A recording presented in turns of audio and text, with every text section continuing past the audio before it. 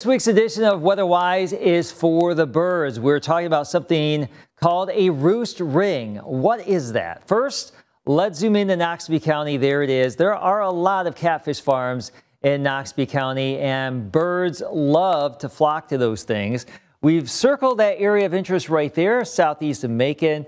Going back to the morning of July 20th, 535, nothing on radar. But within a couple of minutes, we start to see this, 541.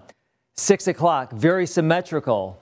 It's on radar, very interesting to say the least right there on radar. And then it starts to become a little bit more dispersed by 7 o'clock. Those were actually birds waking up, taking flight in the wee hours of one of our summer mornings. We can detect it on our radar as well with our debris detector. We usually show this when we're talking about severe weather, tornado possibilities, all of that dark blue right there.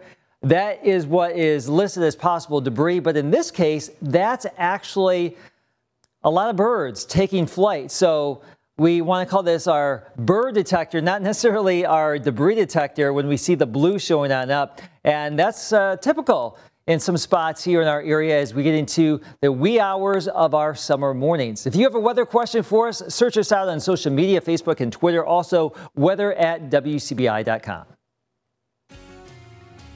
Weather Whys is brought to you by Four County Electric Power Association.